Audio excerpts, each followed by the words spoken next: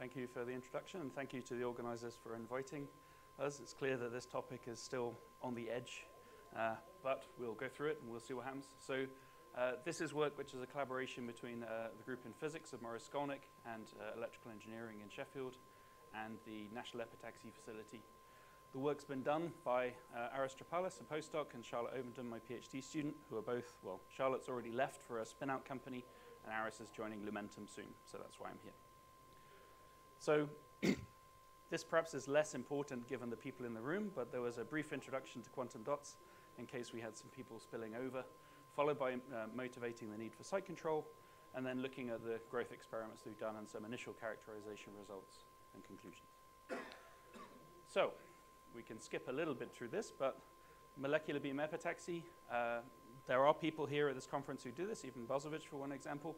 So effectively what we have is a, a vacuum system where we have individual heated sources uh, which we evaporate onto the substrate and we use shutters to mechanically open and close to control the material that we're growing. And generally, unless we do something very strange with the substrate, growth proceeds by one of three modes. We either have a, a layer by layer type approach, uh, we have just islanding, thinking of something like water on glass. Or then we have uh, an unusual mode in the middle where we get an initial layer followed by a relaxation uh, of the strain by forming islands known as the Stranski-Krastanov growth. And this is the method that we're using to form quantum dots. So the important thing when we look at those films, if I just go back briefly, if I just keep growing, um, eventually these islands will coalesce and I'll form dislocations I'll still produce a film. In the first case, I'll produce a nice film, and the other two, I grow quite a thick distance in order to um, get a smooth surface. But for intermediate thicknesses, the islands formed are actually coherent. So they're a single object, they contain no defects. And that means they have very good optical properties. And if we have a large number of quantum dots, then what we see is an ensemble distribution. Remember, quantum dots, as we're told in semiconductors, a delta function like density of states. This doesn't look like a delta function. That's because they're all slightly different sizes. But what we also have is effectively standard kind of state filling, SP, shells, and so on. So we have this kind of structure where we're adding more and more electrons and holes to the dots. If we can isolate single dots, on the other hand, we end up seeing the sharp lines that we expected to see and a zoo of uh, different states which are effectively analogous to artificial atoms. So electron hole, two electrons, two holes, or charged states and these lines are very narrow. And what this has done is in a standard semiconductor, we have uh, an object which is 10 to the 4 atoms or slightly larger, where we can have a single electron on hole and we can manipulate them.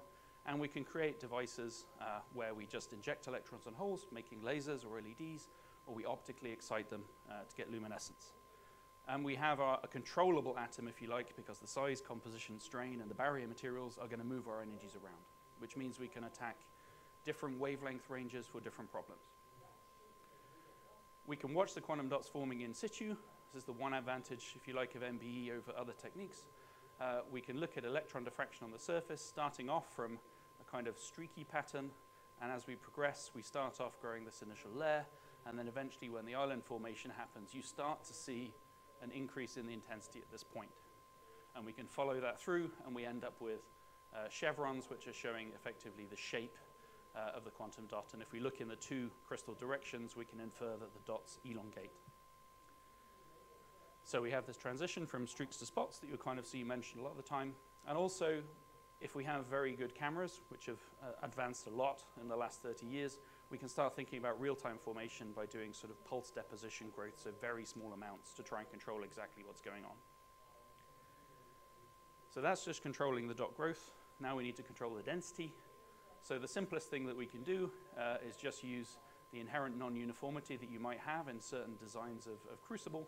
So in this case, for a straight-walled crucible, region B doesn't see the entirety of the melt, so the deposition rate is lower here than at the edge, whereas the more conventional, more uniform crucible, region B and region A see in the same area. So we see a density gradient from the center to the edge of the wafer. That gives us a ring of the right density. We could stop rotation, and if we stop rotation, then we'll get a gradient across the wafer from the side where the source is to the opposite side. So we have a, a, decrease in density going across, or in this case, we're showing this as emission wavelength. The emission wavelength is getting shorter. And so again, there'll be a certain region on the wafer which is good. Or we can go to extremely low growth rates. So this is dropping the growth rate down by a factor of 100 or so, meaning we grow these two monolayers in about 15 minutes. That gives us very low densities and, and very uniform. And we have this competing ripening versus nucleation. Why? So that's what quantum dots are. What are we trying to do? What we want to do is incorporate quantum dots into waveguide structures. And we want to do that so that we can move photons around on chip uh, effectively eventually to get towards on-chip quantum manipulation. Now this is the kind of general structure. We have a sacrificial layer of material that we etch away to leave a suspended membrane with the dot layer. This is perhaps not the most exciting waveguide, but if you have a dot somewhere here and you shine a laser on it, then the light uh, transmits along the waveguide and we scatter it out through these couplers. We could go to a slightly more complicated device. Now we have a beam splitter. If we have a quantum dot in one arm and we fire a laser in on the other, then we can start to interfere those two photons along this. We can start to make things like square root of swap, various manipulations like that, two photon interference. Uh, and we've demonstrated this with, say, with the quantum dot and the laser photon where you get light coming out through the two ports. And two dots is also possible using this method. You have to hunt around and find those two dots and then build the structure around it. Um, but if you want to move towards,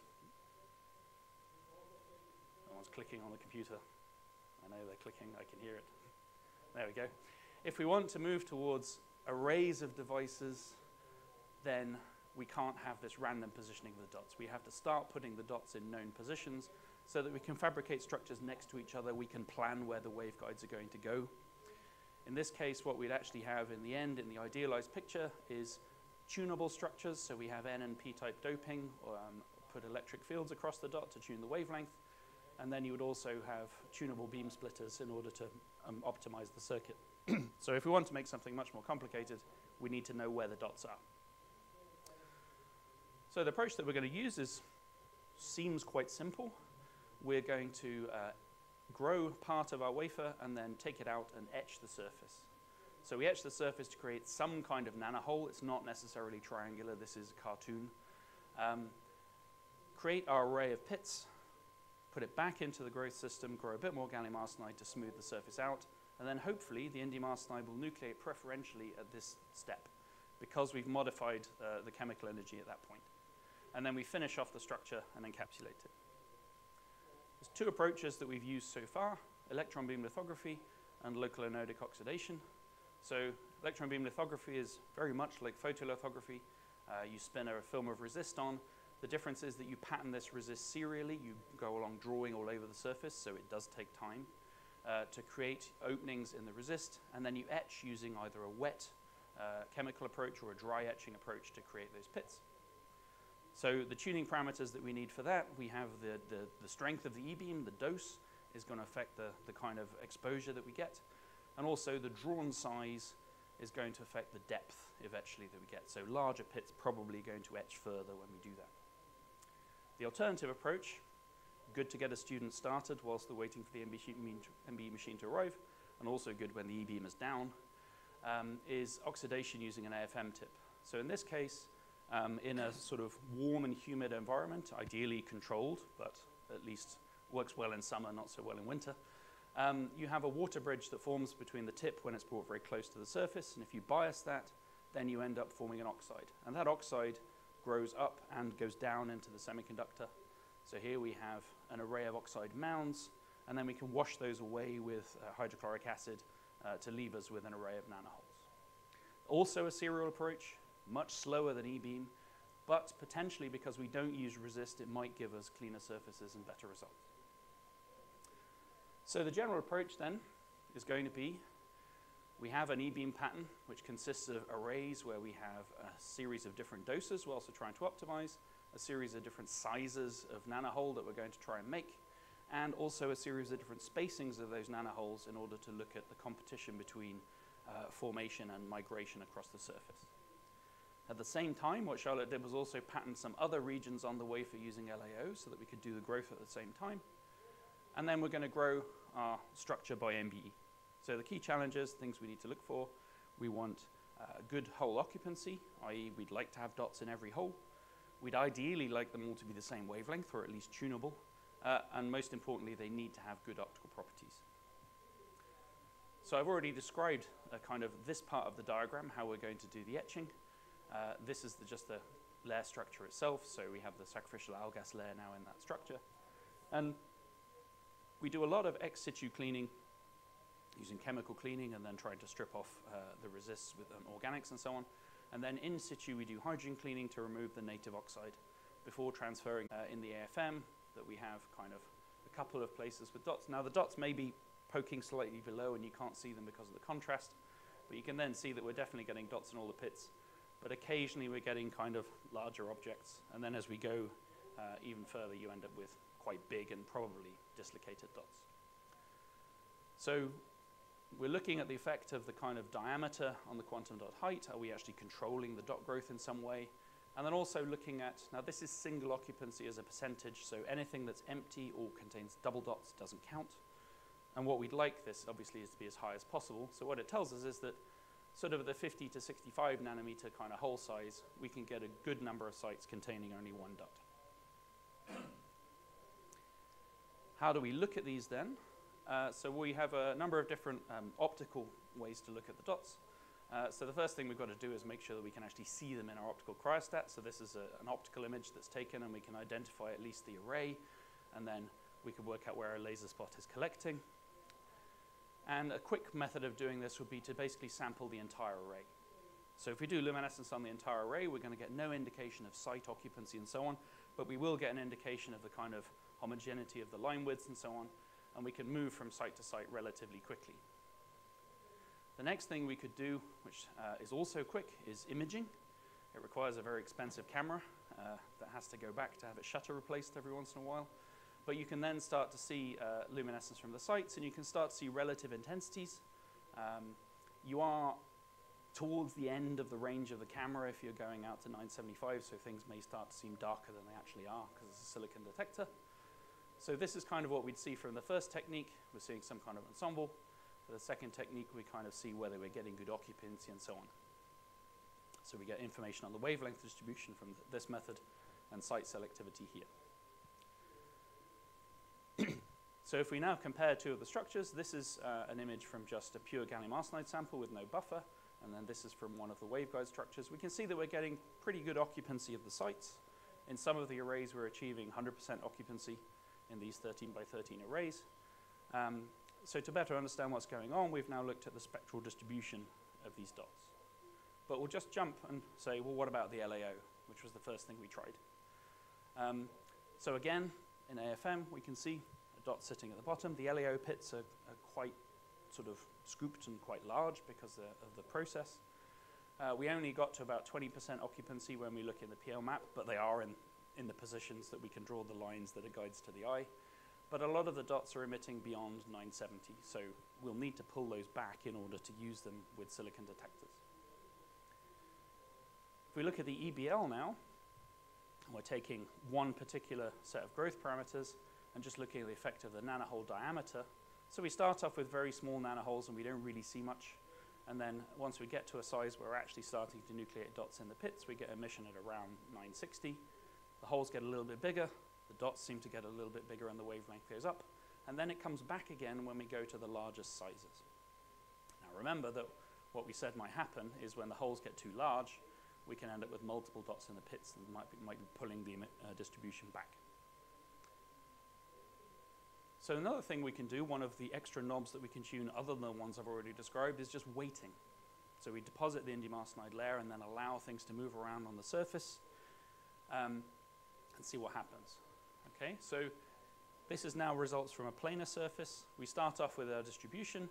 It's quite short wavelength. It's, it's quite hairy. Those are the individual dots. And if we then wait for a longer and longer amount of time, going up to here 300 seconds, we allow the dots to exchange material, to possibly uh, exchange material with the substrate as well, but we end up shifting the distribution to longer wavelength. And the kind of optimal time that we're looking for to still have dots in the range that we want is kind of 15 to 30 seconds. That's what we think is kind of a good time. If we combine that technique with extremely careful control over the amount we deposit, then we can actually end up with ultra low dot densities. So this, this is not an SEM image, this is photoluminescence imaging still, but this is a 50 by 50 micron image. and we have six dots. So if we wanted to make a circuit, this is fine, but if you wanted to make lots of them, then you start to have a problem. So this is still why we want to control the position. So if we look at what happens on patterns, this was the panel we saw before where the size goes up and then appears to come back again. And if we concentrate first of all on uh, small holes, so on small hole sizes we see kind of what we expect with the effect of the interrupt, that they move to longer wavelength, that, that we must be pulling more material in from the surface. And if we go to the sort of larger holes, we actually see a fairly stubborn peak that doesn't seem to want to move. And there, possibly it's getting narrower. Possibly what's happening there is this exchange of material between the dots and ending up with these two dots in the pit.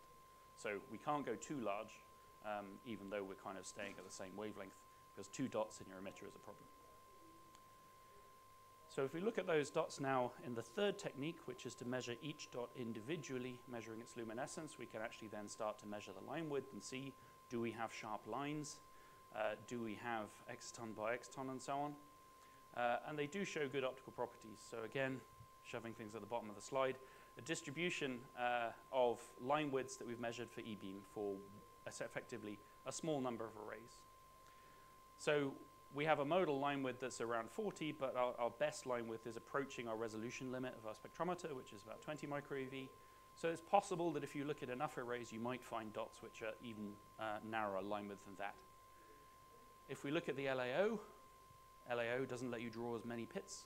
The statistics are clearly worse. Uh, the best line width is not that far away, which is substantially better than most other reports of LAO in the literature where they've had to use two layers of dots. Um, but the mode is, is uh, sort of at 60. So this is promising. It shows that um, remembering that we have a, a, growth interface which is 30 nanometers away from the dot layer, that we're still getting very good um, optical properties from these, and we want to push them further, and there's various different ways that we could do that. So, said it was short. In conclusion, um, for a variety of conditions, we can control the position of the quantum dots. Uh, we can uh, tune the wavelength. We've recently done experiments where we chop the tops off the dots to bring them back, um, but we haven't sort of got that all sorted out yet to, pr to present. Um, but we're in the right range for silicon detectors for free space quantum optics uh, from mountaintop to mountaintop or short distance fiber. Um, we have dots and we can do this by tuning the nanohole size and the growth interrupt. I've described two serial techniques for patterning. Okay, they're not necessarily scalable uh, over the long time. There are ways of doing e-beam where you don't turn the beam off. Uh, if you have the right size, you could just draw the whole wafer and just dwell and stop, which would speed up the process compared to blanking and trying to fill in the holes. Um, but the results indicate that they're suitable for use in devices. So the next step that we have uh, is to incorporate them into a, an active structure. So in this case, we, uh, the top and bottom of the waveguide, we put P and N-type doping to make a diode so that we can inject that current I talked about at the beginning. And if we have a quantum dot over on this side, if we isolate the top by cutting into the p-type layer so that there's no conduction between the two, we then have an emitter which can launch into the fiber, uh, into, sorry, into the waveguide, uh, and then scatter out through the top. So again, a simple initial experiment followed by emission into more complicated structures. Uh, so with that, um, I'll conclude. If you want to visit the lab, you can do so by going on a virtual tour. Uh, and this is the machine where everything is grown on. So, thank you.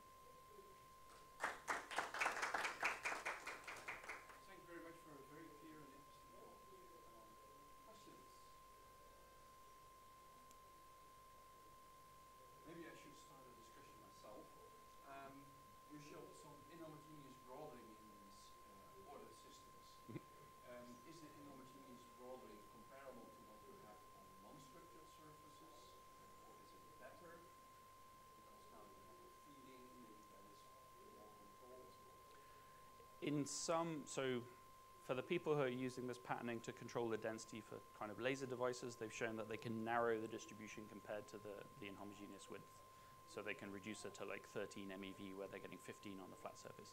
In our case, we probably don't have enough sites to, to build up good statistics, but it looks broader at the moment. And then there's a question of whether you've got variations going across your e-beam pattern that you haven't compensated for, or whether, it's a long way back, I'll not scroll, um, your patterning parameters are such that your initial holes are uniform. That's one thing which is kind of, from a manufacturability standpoint, looking at the patterning, trying to determine the size distribution of the holes, including the depth. The depth with dry etching is not perfect across a whole wafer. Um, and then seeing whether that translates to controlling um, is, is kind of a next step. But yeah, right now it looks worse. They're quite broad distributions when we were looking in just ensemble.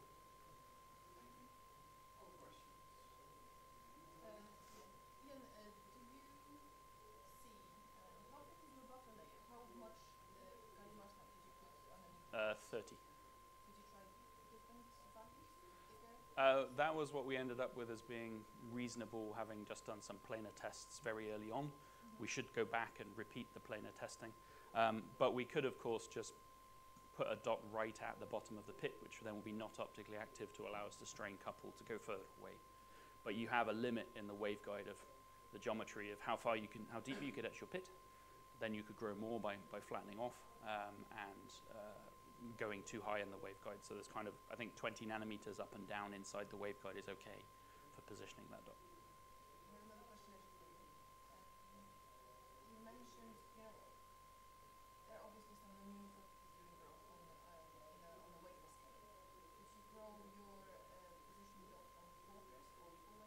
quarters. Um, do you see any non-uniformities across those quarters? For example, maybe you've got sides on the wafers which exhibit, let's say, 90% of single dot occupancy, and somewhere further away you would have, you know, different statistics. Um, so in that sense, we have a reasonable number of patterns on the wafer, but we haven't looked as extensively. And kind of the weirdest things we've seen, if you like, are differences even with just a single array about whether you do or don't have an array next to it. So you get quite high occupancy near some of the alignment marks, and if they're too close, you're sucking the dots away. So we saw some patterns where you might be missing one of them, and then everything looks different. So you really have to think about the stuff you're putting around the array. It needs to be close enough to be able to align to make these structures, but if it's too close, it's actually sucking up too much of the indium.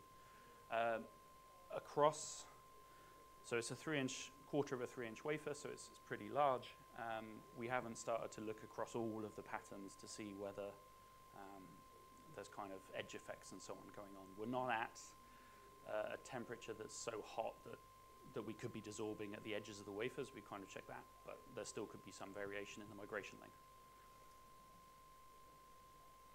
Any other questions from the audience? And then, and the last question Okay. for you, I, I was intrigued by the remark that you made about the RHEED measurements and that you actually can see the dot anisotropy Mhm. in that. Did you link it really with AFM measurements or with other measurements? People have, so that, I mean, that wasn't my, my RHEED image, that's from um, Springthorpe, but uh, yeah, I mean, you can, you can see that, you know the crystal directions it's going in, you can measure facet angles and so on in the RHEED. Um, it does require, to start to see the facet angles, a reasonably high density. Um, when you're looking at the kind of trying to grow these very low, low density dots, it's more, I can just see the first spot appearing, if you like. Um, it's probably too far back. Um,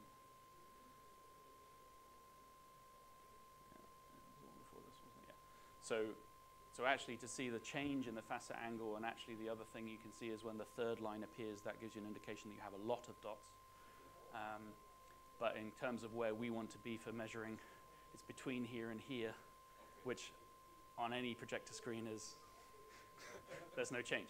But, but that's compared to what it used to be, which is your head like a photographer looking at just the fluorescent screen yourself and staring and convincing yourself it's happened. So the other thing I've kind of had project students looking at is uh, trying to look at kind of um, machine learning approaches to try and identify when this might be happening. So uh, principal component analysis and so on to try and work it out.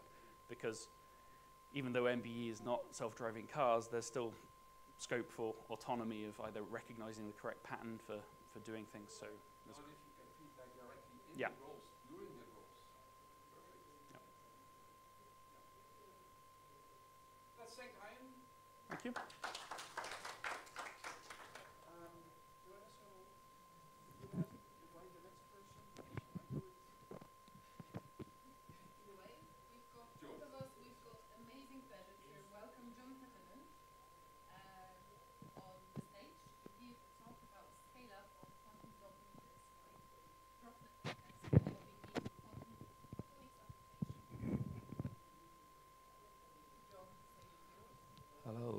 So point this in the right direction.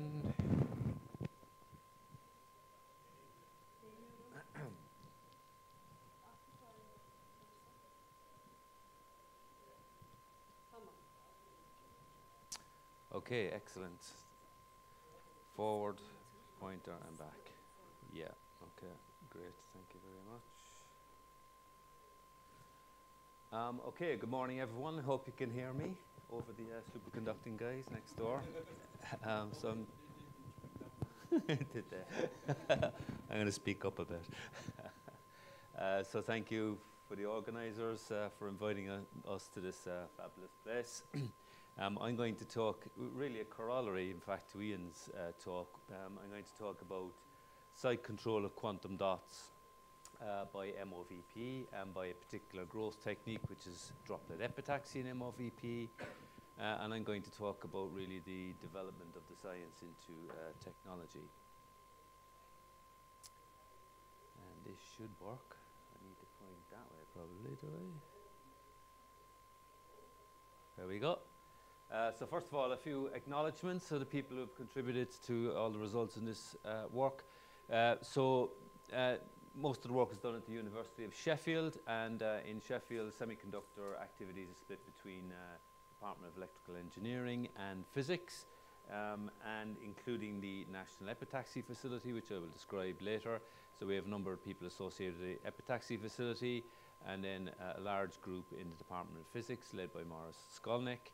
I also want to thank our collaborators in Toshiba, including Joanna, uh, Mark Stevenson, and Andrew Shields, uh, also um, for work on uh, STM measurements, um, Paul and his colleagues at Technical University of Eindhoven.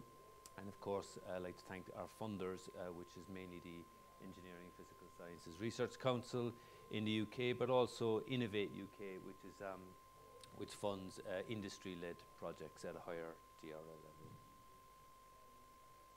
So, before getting stuck into um, quantum dots, I'd like to describe a little bit about what actually is happening in quantum technology in the UK.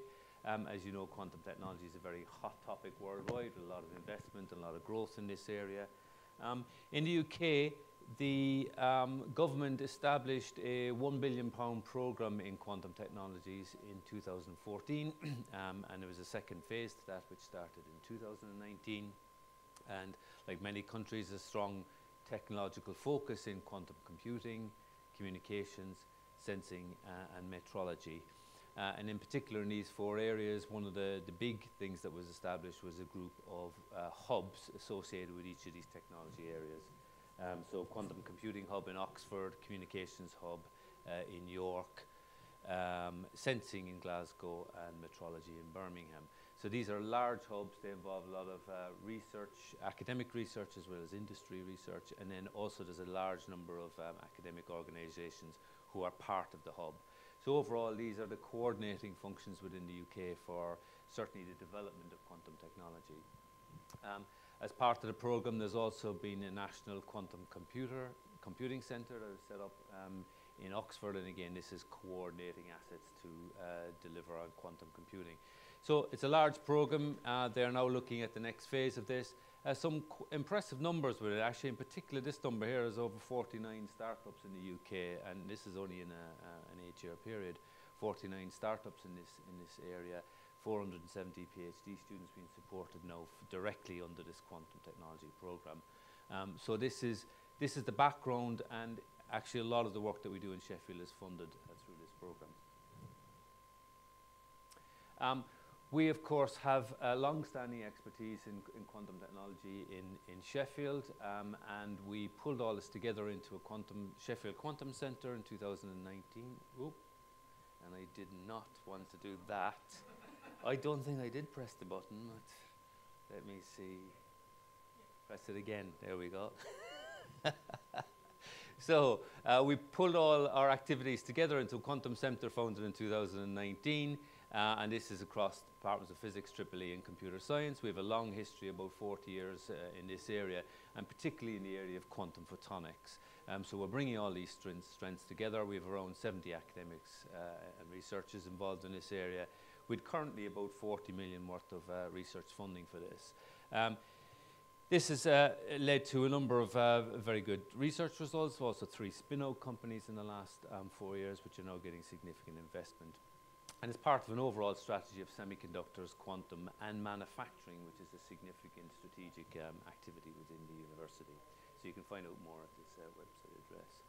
Uh, the other thing I wanted to talk about, get to do that, yes, is the National Epitaxy Facility. So Sheffield hosts the National Epitaxy Facility. It has done this for about 40 years again.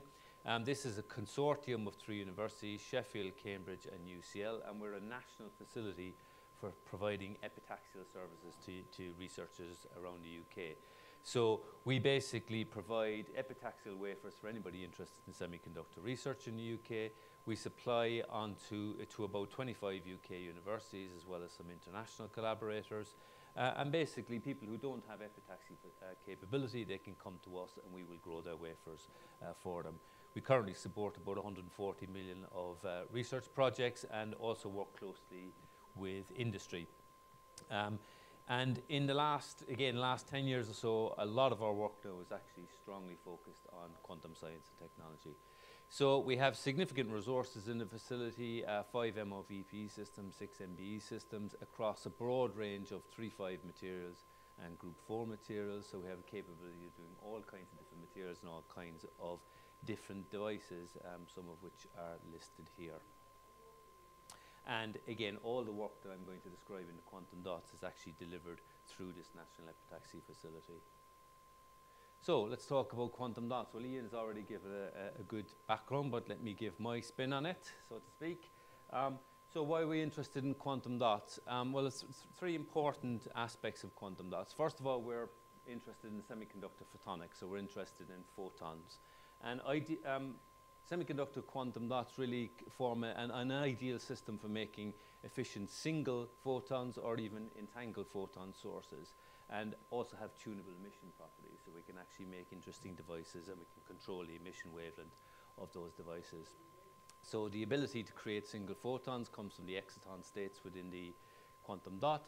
So you have a variety of different types of exciton states and if you take just a basic exciton then you can get a single photon source from, from the decay of this exciton.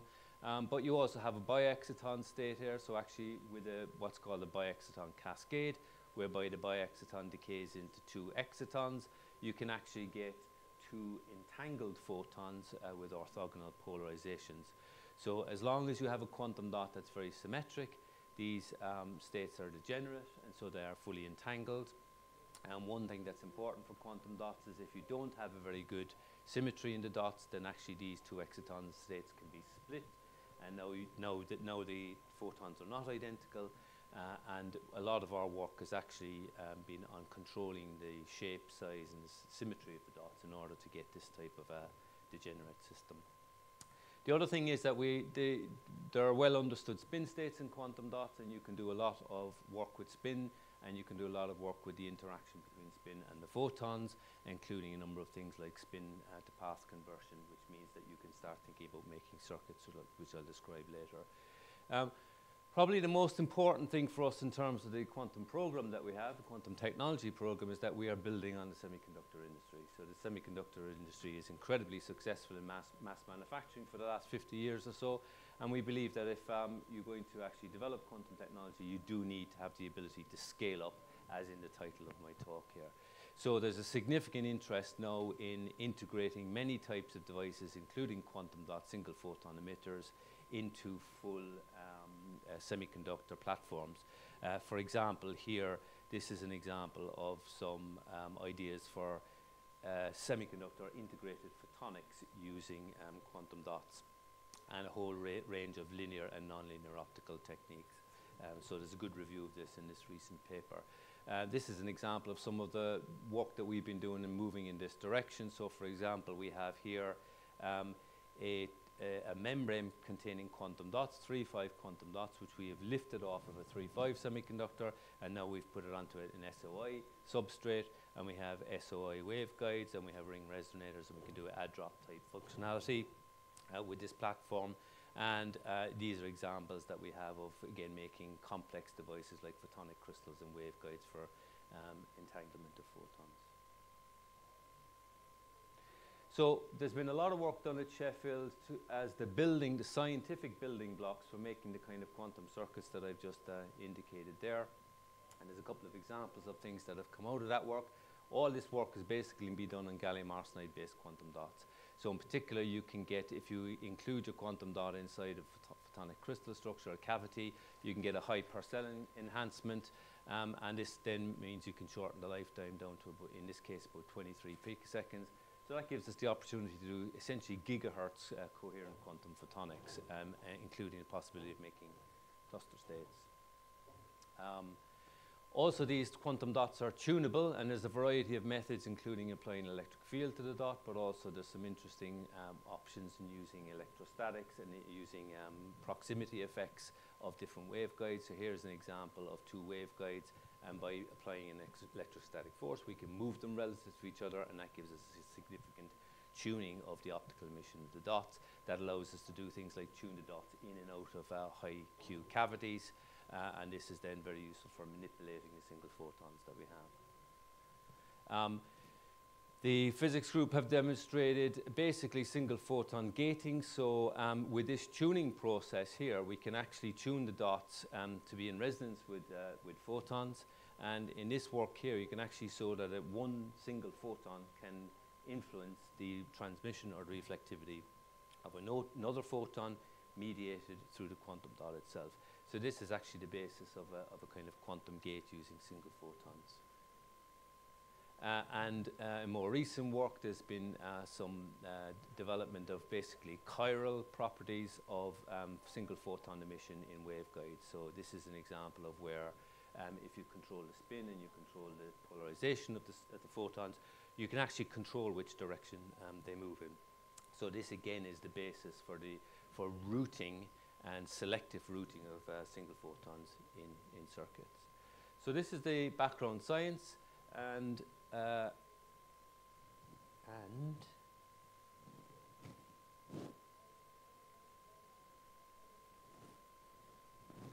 and you can spend your time taking down those references.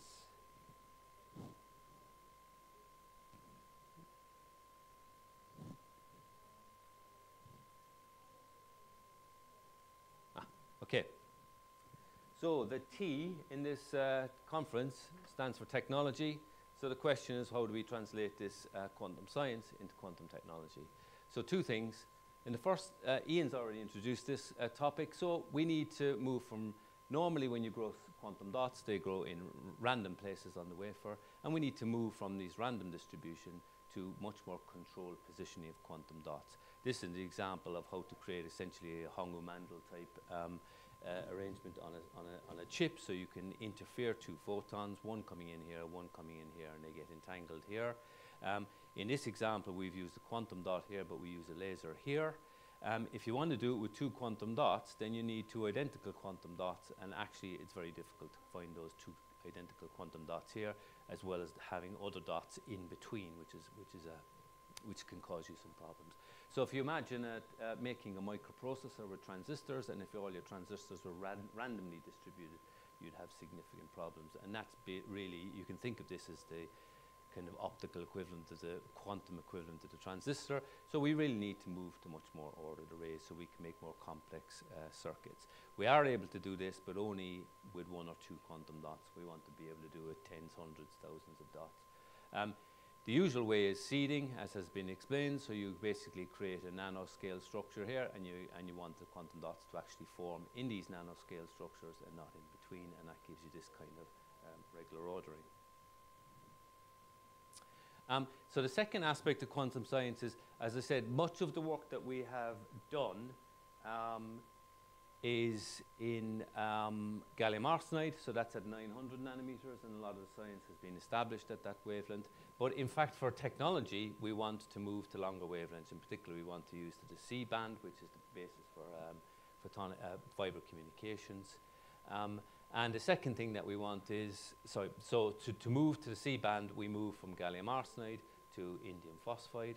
But the second thing that we want is, although MBE is a fantastic technique, and we, and we loved MBE, um, probably over the last 30 years, actually MOVP has been established now as, as the industrial standard uh, for mass production of semiconductor materials. Um, so we actually want to develop these high quality quantum dots uh, using MOVP, and that's what we've been doing. That's what the rest of this talk is about. So the, uh, the quantum dots that we grow are grown in this uh, MOVP system. This is an Aixtron uh, closed coupled shi- uh, showerhead reactor. Um, this is actually a 3 by 2 system. And it is, we call it, we say it's compatible with industry. It's actually very similar to the industrial designs that are um, much larger numbers of wafers. Um, but anything that we do here can actually be translated mostly into industry.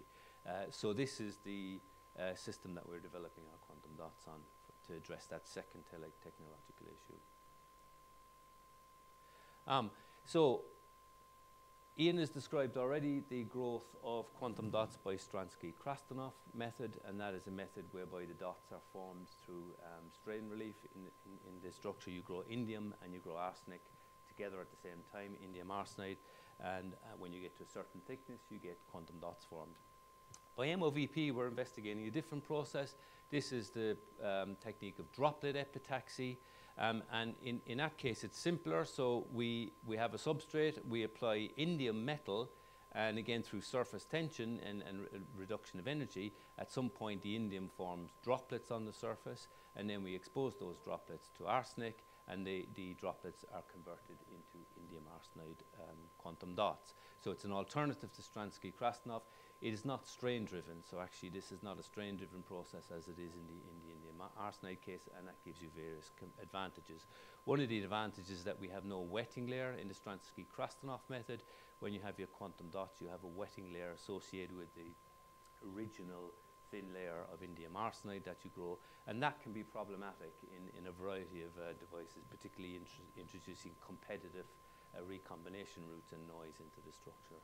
Um, so we have uh, established over, over a number of years the growth of uh, indium arsenide quantum dots at 1550 nanometers using um, droplet epitaxy in MOVPE. And here's an example of uh, uh, an optical spectra in the C band. And you can see these sharp lines here are associated with individual quantum dots. Um, the line widths that we have typically in, the, in this uh, reactor, in other words, this industrially competitive, um, competitive, compatible MOVP reactor, are typically around 60 micro EV, but actually we do have a part of this distribution here that is below the resolution limit of our spectrometer, which is around 20 micro EV. So these dots actually are, are good quality and have good coherence properties. One thing that we found in the um, MOVP growth is actually these dots, uh, they, they form, um, but they actually form within an etched pit uh, around the dot, and that's actually interesting, but also potentially important in terms of the site control, which I will come on to. Um, so a number of interesting properties of droplet epitaxy that make it useful for devices. Uh, we have, because of the, um, uh, the, the, the fact it doesn't rely on strain, we have reduced um, uh, in-plane, so you have high symmetry in the dots. Um, we have very good compositional homogeneity. These are actually almost pure indium arsenide uh, quantum dots, which can be challenging in the Stranski-Krastanov method. And we have um, no shear, uh, reduced shear and biaxial strain associated with the lack of uh, strain-driven process and the wetting layer engineering I mentioned. Um, that means that we have flexibility in what substrates we want to use, the strain-free aspect. The fine structure splitting and the symmetry of the dots appear to be better um, than at 1550 than the Stranski-Krastanov method. Um, and this has led to long coherence times and uh, there is reduced noise. We believe there's reduced noise from the wetting layer. Um, but also when we move to indium phosphide, we can actually make even better nanophotonic structures um, using indium phosphide. So there are a number of advantages that translate into moving to 1550 and also to the droplet epitaxy. So using random quantum dots, um, we've actually achieved a lot of very good results um, at 1550 with, these, with this droplet epitaxy process.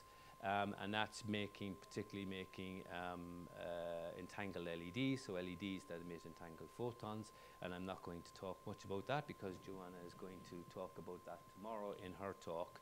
Um, but a number of very good results here, including all the way up to demonstration of teleportation with these um, devices.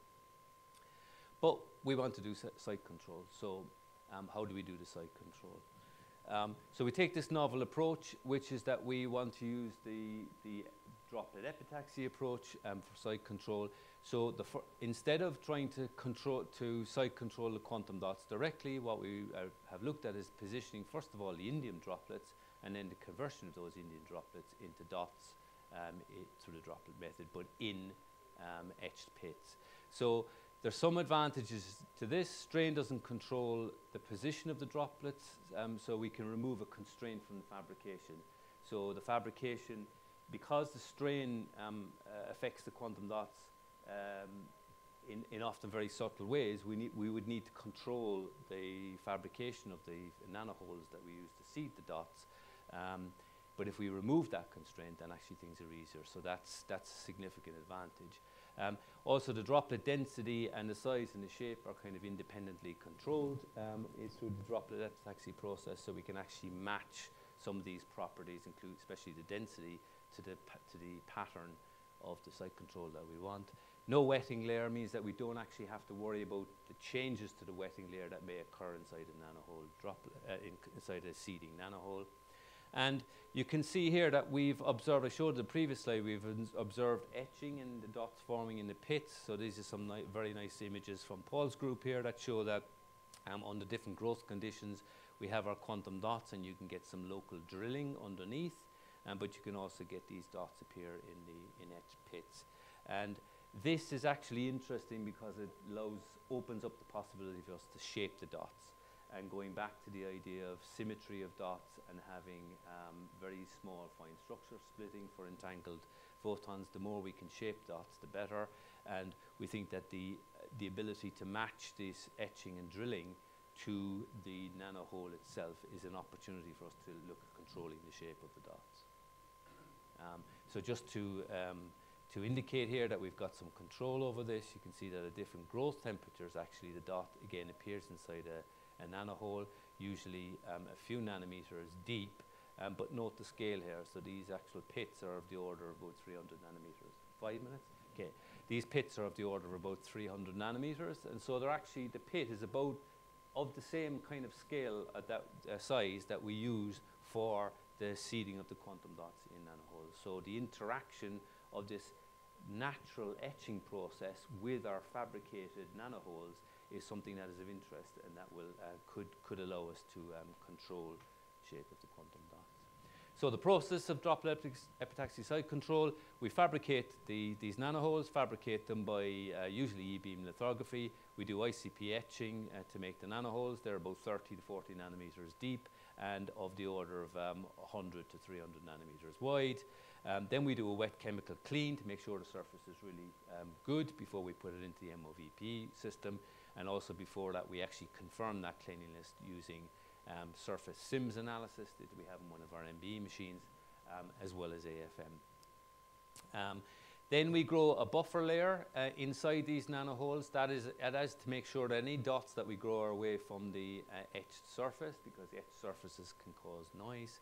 Um, then we deposit the indium, and we hope and expect that the indium will, will fall into these dots, uh, into these holes, uh, and then we have site control of the indium droplets. Then we crystallize the, the, these droplets, and then finally we will cap it with indium phosphide to make uh, the quantum dots that we've formed into optically active quantum dots. So, what kind of results do we get when we try this? So, uh, the first thing is in terms of fabricating the structure. As I mentioned earlier, we actually do have, through the droplet epitaxy process, independent control of a number of parameters of the dots. In particular, for instance, using the indium time, we can control the density of the dots from around 10 to the 7 up to uh, 10 to the 9 or so. And this is important because we make uh, patterns uh, for the nanoholes, and if we can match the density of the pattern to the density of the dots, or so the other way around, the density of the dots to the density of the pattern, and we increase the chances of actually the site control of the droplets into the pattern that we achieve. Now, the, the, the precise details of the pattern depends on what we want to do, and in fact, for a pattern like this where they're four microns apart, the reason we want to do that is because we want to do optical excitation on a single uh, dot and our, our excitation spot is about that size. But if we were going to full circuits, we would obviously make much more dense structures and then we match the density the, of the dots to that.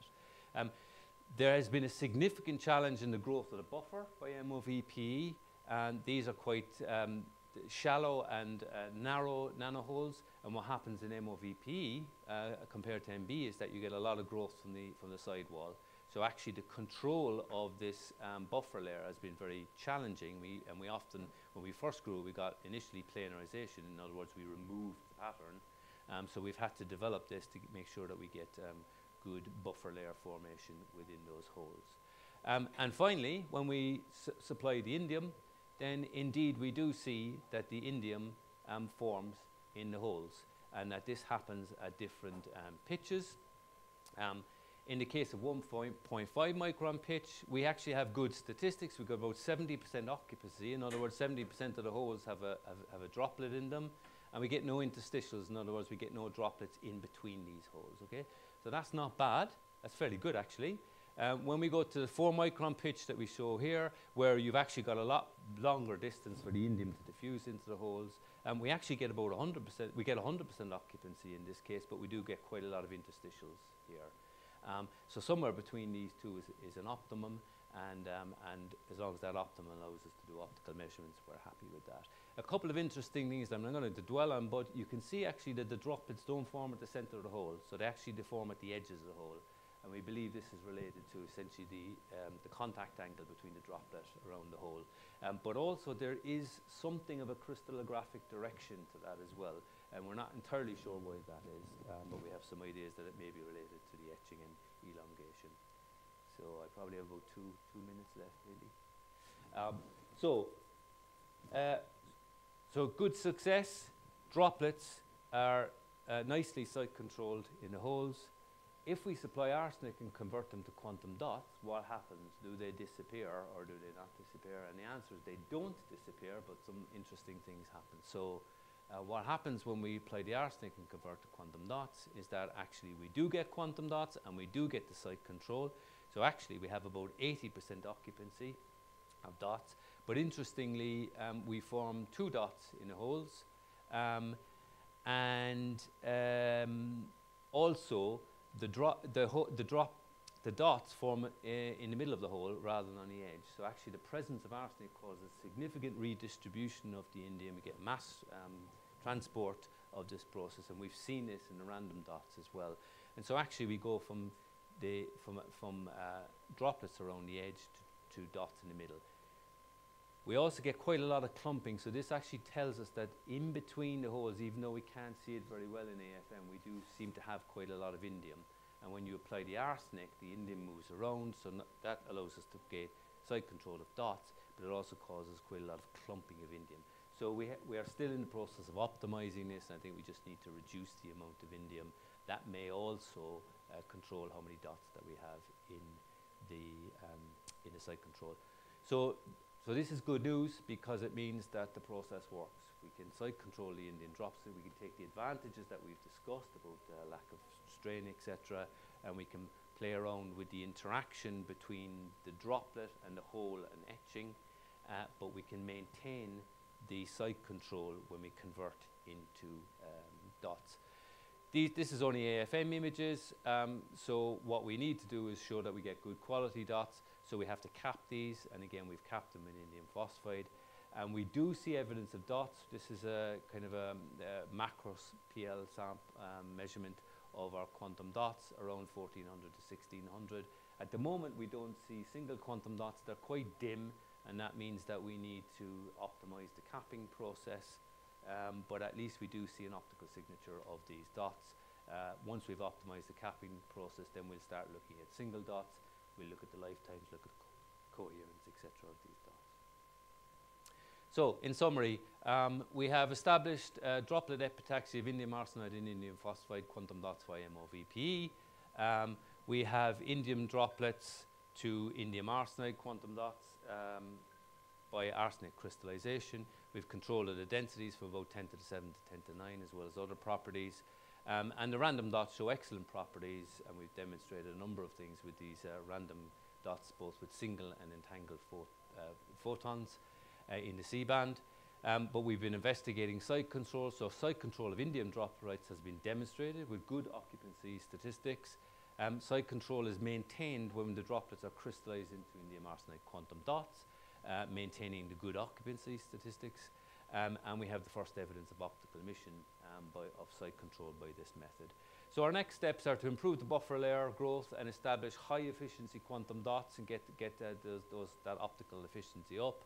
Um, but we also are looking at better control of the crystallization to produce single quantum dots in the, in the hole and also control the uniformity of those dots and explore the question of the interaction of the, the droplet etching with the hole itself, which may help us to control the symmetry of the dot. Um, and ultimately then we're looking for low line width dots, high coherence, uh, which will be partly a test of our fabrication quality. And once we have that, we can make the kind of structures I showed earlier with nanophotonic devices around identical dots that are site controlled, um, which is the basis for um, quantum photonic technologies uh, in the C-band. And with that, thank you very much.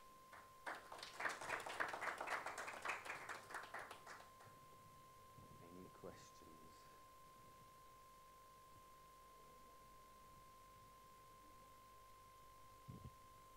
May I kick off with the Use, you may, the- The question is maybe more a remark, or maybe both are more remarks.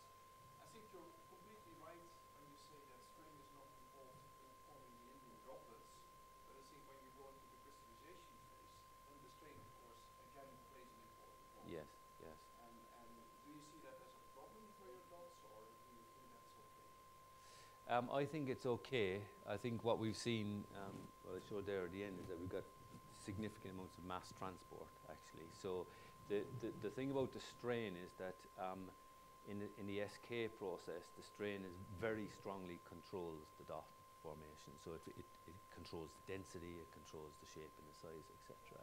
I think by this technique, although you have strain comes back in when you do the crystallization, I think it's less direct um, because you've got things like the mass transport, for instance, and, and in particular what we worry about in site control is that um, when, you, when you fabricate the structure, so you fabricate a nanohole, um, because the SK is, very, is, is so sensitive to the strain that actually you've got significant constraint on your fabrication and particularly on the uniformity of that.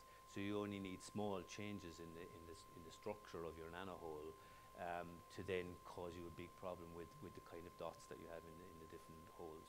So I think it's, it becomes more of a secondary problem than a primary problem in, in, that, in that case. No, I also think that the, the purity of the dots is strongly enhanced by going to droplet. Yes, SK dots strongly show uh, inhomogeneity in the material itself, gradient in the indium concentration.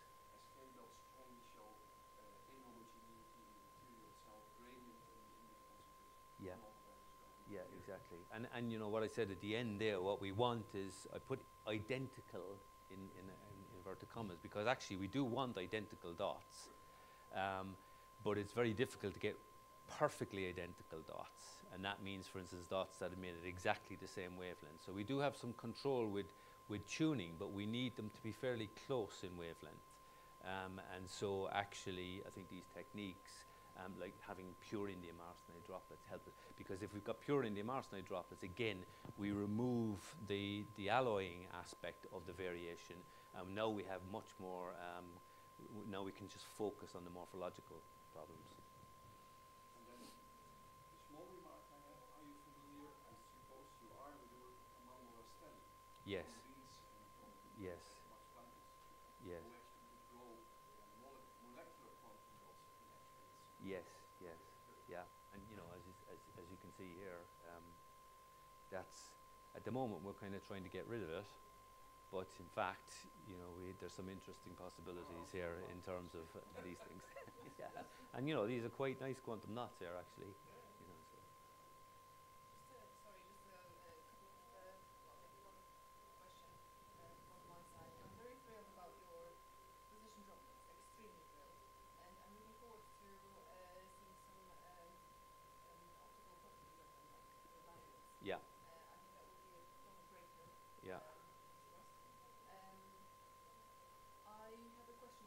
Have you tried actually positioning them on smaller bits? You said that you had the bits uh, you were using were 300 nanometers. Yes, we have, yeah, yes. That would help. And also actually another question, another related question is how are they etched? Are they dry etched or is it wet etching? It's dry etch, so it's ICP etch, and then we do a wet chemical clean.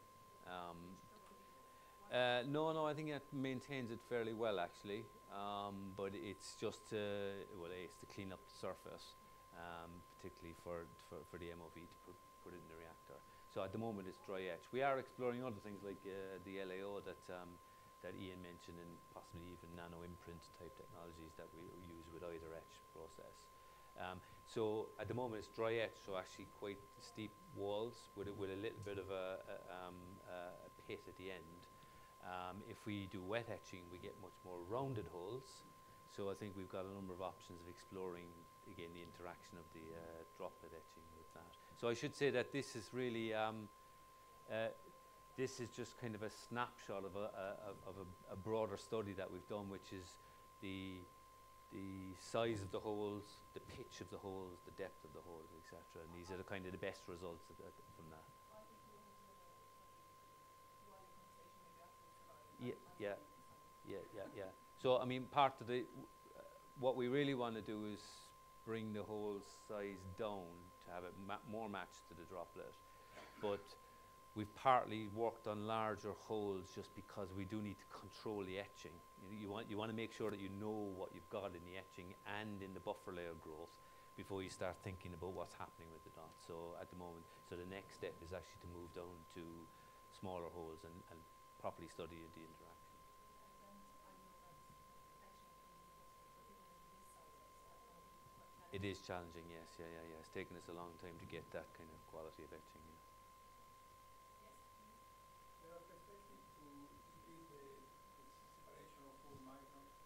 Yes, sorry, I should. So, um, so we, we have. Th- this is just summarising a lot of work that we've done. So I mentioned earlier that we use four microns here because we want to actually uh, optically address individual dots. So our excitation spot is about two, two to three microns or so.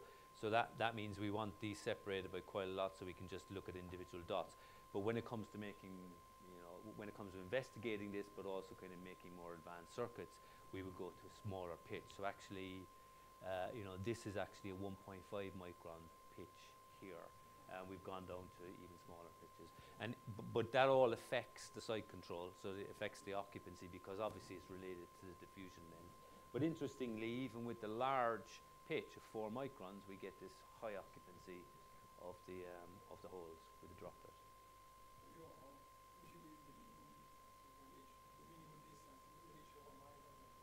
Oh, uh, less than one micron, yeah. We've gone down to, yeah, I think we've gone down to of the order of uh, 500 nanometers, 200, 300 nanometers, around 300 nanometers. Yeah, yeah, yeah, yeah, yeah, yeah, yeah. I mean, it's it's not. Um, there isn't significant interaction between the holes in the e-beam process. You, know. you just need to be as it gets as you get very dense. You just need to be slightly careful of proximity effects in the e-beam, but the etching process itself is fine. Okay, John, I think we should move on. Okay. Thank you very much for Okay. Thank you very much. And our next speaker is uh, Krzysztof Nowak, professor from University of Technology in uh, Poland. Okay, welcome everybody. Can you hear me? It's this one. Forward. All right. Thank you. All right. All right. So it's my great pleasure to be here. So um, um, I, I would like to give you some taste of uh, hi, uh, uh, scientific approach to semiconductor, superconductor, quantum hardware. So this work is done in collaboration. So I'm affiliated with uh, Krakow University of Technology, and uh, that's also my company, Quantum Hardware Systems. So I'm working, uh, w- working on on such type of systems. Yeah. Uh, right. Maybe you can go to full screen mode uh, with that uh, screen. Yeah. Uh, okay. So let me move on. Can I go to next slide? No. F11 is full screen mode. So how how I can proceed?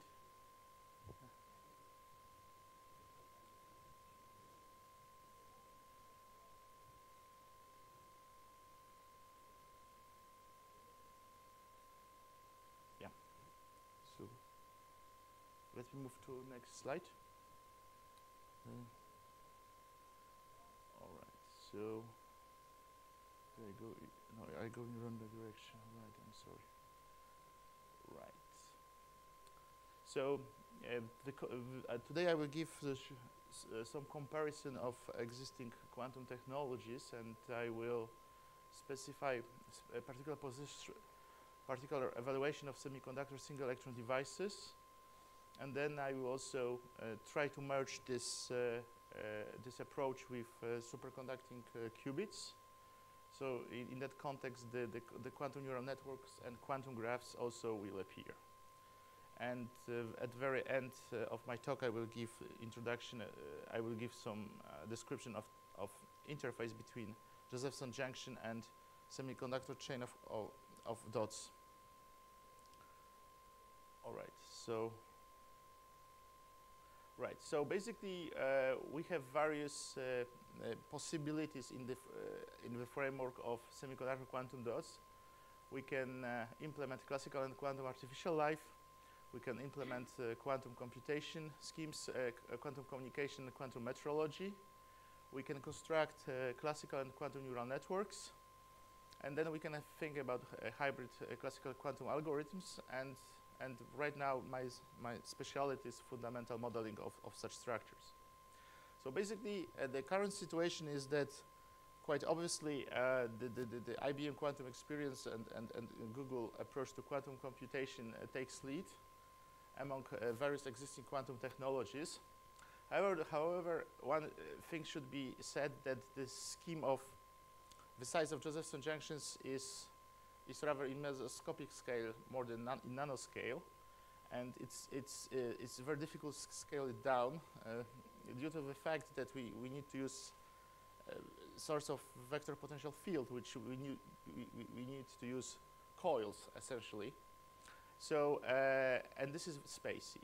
On the other hand, uh, semiconductors give us a, a very a good way of compactification. Most recent CMOS technologies use field effect transistor with 10 nanometers of channel length. So, uh, so this, uh, and also uh, the, the, there's various approach to, to uh, in to cryogenic applications. So this, uh, this, so th- there is a idea that is coming back, the idea, idea of position-based qubits that was initially implemented by Fujisawa and Petta in 2003 and 2004.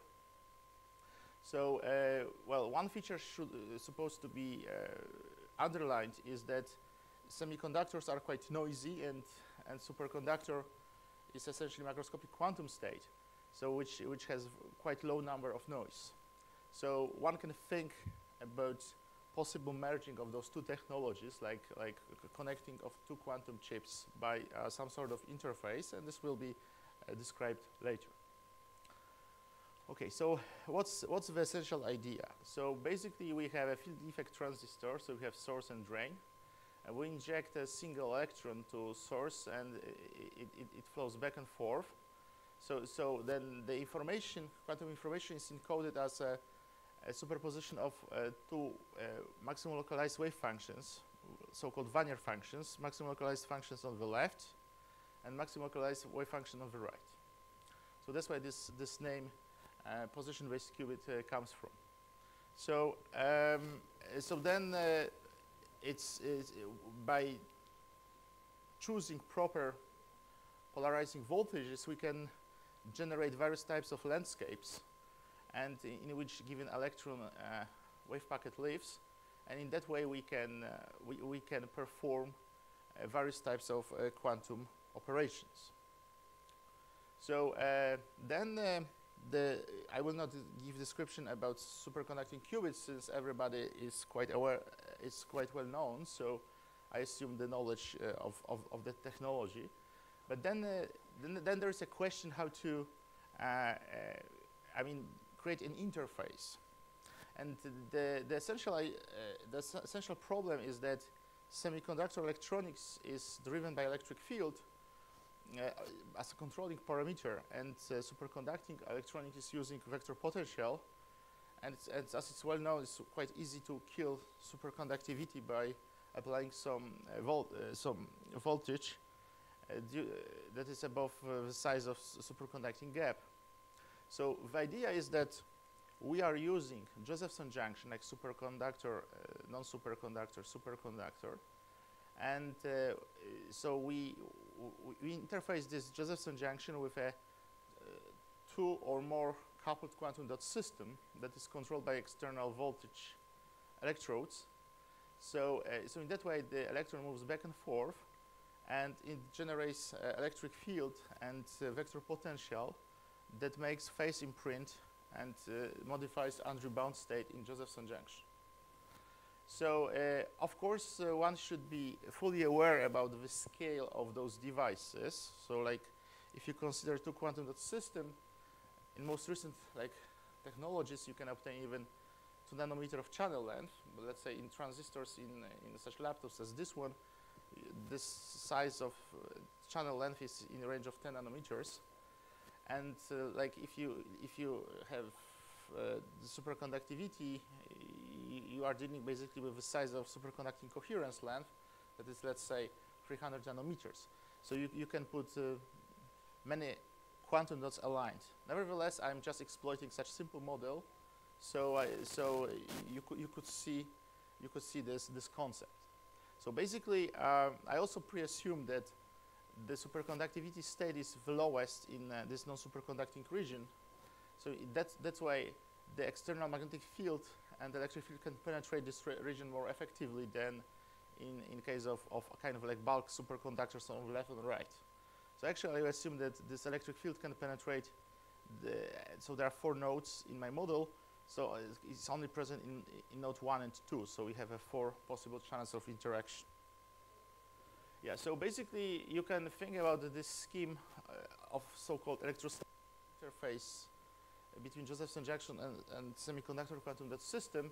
So you have a semiconductor nanowire, and on the top you have you have placed metallic gates. Of course, they are insulated by, by insulator. You have a single electron that's, here and here, and then this system can be interfaced.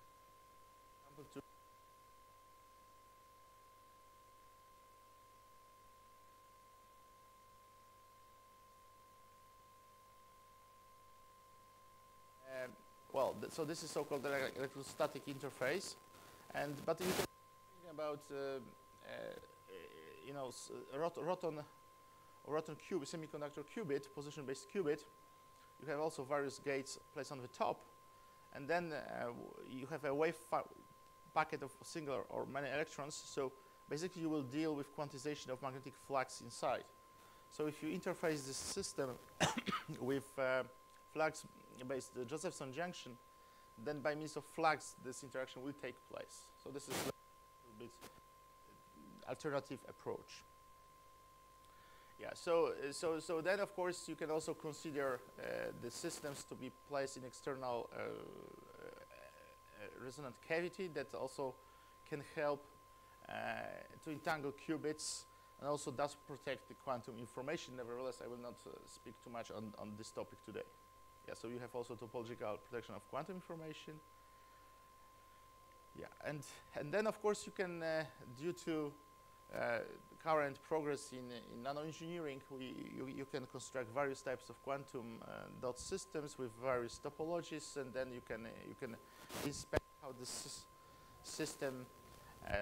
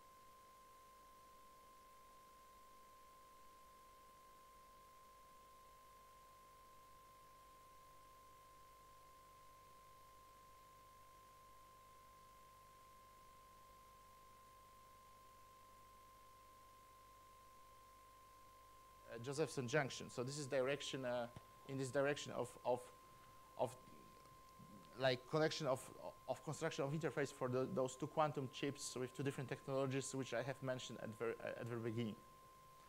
So basically, one has uh, like six voltages that uh, control the state of quantum swap gate.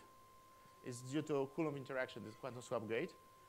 Plus, we have the uh, controlling signals that control the state of Josephson junction. So that you have such system. So yeah, so then uh, this is most minimalistic model that this. So this is uh, so I described Josephson effect by four nodes. So this is naturally 8 by 8 matrix, which is Bogoliubov-de Gennes, uh, uh, uh, which express Bogoliubov-de Gennes formalism in tight binding approximation. And then I have to interlink this uh, model with, uh, with quantum swap gate. So I have to, to take into account the, sp- the tensor products of, of Hilbert spaces and then uh, electrostatic interaction, which, uh, which takes place between those two systems. So we have the hopping terms for two single electron lines that, that, that uh, are represented by two qubits.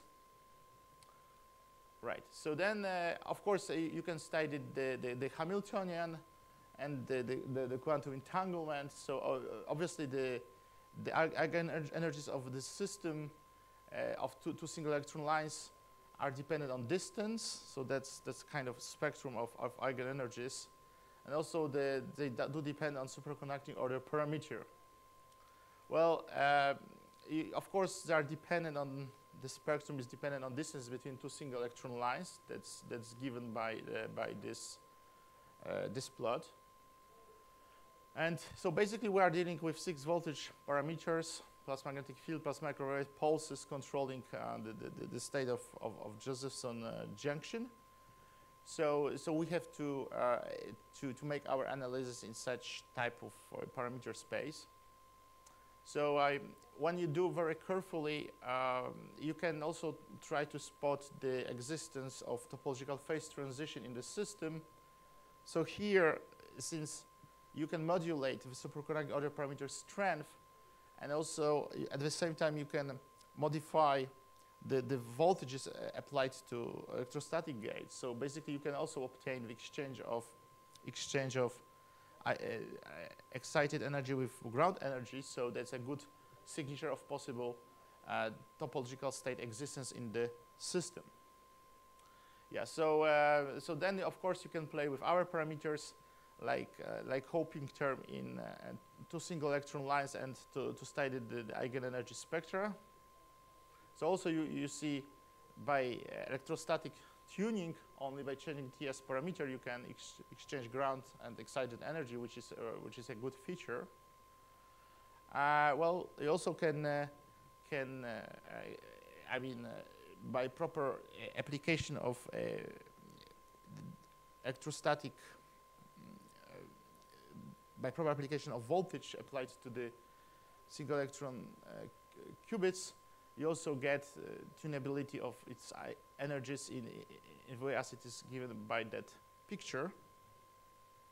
Yeah, so in conclusions, so there are some indications that system shows topological phase transition and, and thus probably have topological protected states, which makes it quite excellent candidate for very massive uh, implementation of, of topological qubits, um, especially that technology of production of Josephson junctions is well mastered, as well as uh, CMOS, uh, uh, CMOS uh, nanotechnologies.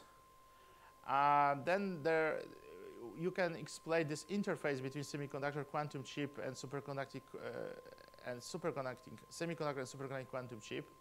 So you, you can go into possible generalization of quantum computer architecture. So for certain operations, the, the, superconducting qubits could be better as they are less noisy. Nevertheless, I mean, semiconductor qubits can operate very quickly, so that's that's you, you can try to to use best of features of, of those two technologies and also make those two chips to, to be uh, you know, to be to, to communicate uh, in a well way. And also um, you can use change the paradigm of control of Josephson junction.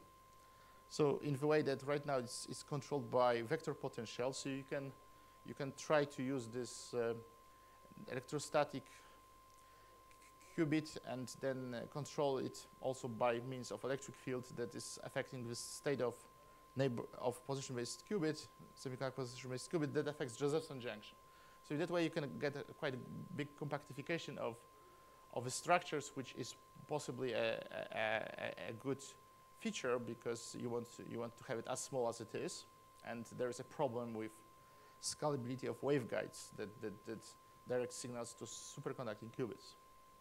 Yes, there's various type of work on on that field. I mean, some of these models which I presented has analytical uh, solutions, so that's quite good to have it. Yeah, I also right now try to think about uh, extension of Qiskit. So in that sense that it can cover this interface which was just described. Yeah, so uh, there, there, are various uh, uh, new directions emerging from presented concept. And uh, yeah, so that's, that's yeah, and, and also I, will, I would like to advertise the coming conference uh, that is from 9th to, to 15th uh, July 2023 about, about mathematical physics uh, and, and, and, uh, and technology. Uh, so this is hypercomplex seminar. So that this conference has ambition to, to, to interlink the community of physicists, mathematician, and engineer.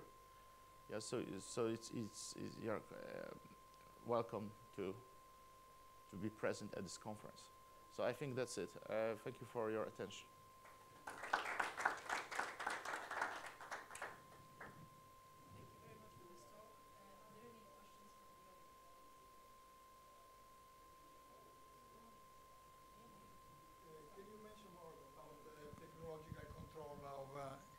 Technological control with the uh, electrostatic control of the, your, you mentioned it, yeah. Just say some more word, yeah. Yeah, well, so, so basically there are two approaches. Uh, you create your uh, quantum dot system uh, using GlobalFoundries or well-established CMOS technology. So then you need to violate the, the, the, parameters of design parameters in order to create a, a, a single electron device. Uh, so that's one approach. Then, then, the CMOS technology is very well mastered. So uh, uh, I bet I still you have to use the, the design tools that are uh, commercially available right now. Another way is, of course, to create your own quantum dots. And uh, that's, I, I, guess, the various institutes across the world already have experience in, with single electron devices and implemented in, in, in quantum dot system. So that's, I would say, there are two main branches of of, of, of, of implementation of, of, of semiconductor quantum dot system. And then, of so course, one, two, three are the quantum dots. One, two, uh, yes, so, uh, so there are four quantum dots. And, but of course, you have to place them on one chip. So with uh, uh, superconducting Josephson junctions. So that's... Uh, How much is the distance between quantum dots? What's the size? Yeah. Well, um, I would say I, I, I think I start thinking about 10 nanometers.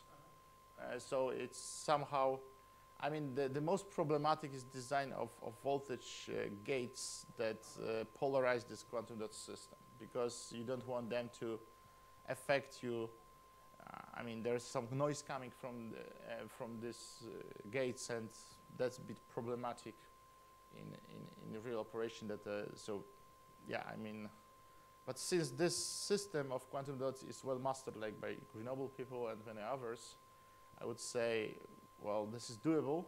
I think everything's supposed to be on one chip and also in the same cryogenic environment, so I pre-assume 50, 100 millikelvin, so it's quite challenging. So you need to get a quantumness of the structure of semiconductor quantum dot system and quantumness of Josephson junction, and then you need to be able to spot this the formation of Andreev bound state that is uh, due to, due to uh, this electron uh, movement. So of course you can amplify this, uh, this mechanism. You can put thousands of semiconductor quantum dots across Josephson junction line.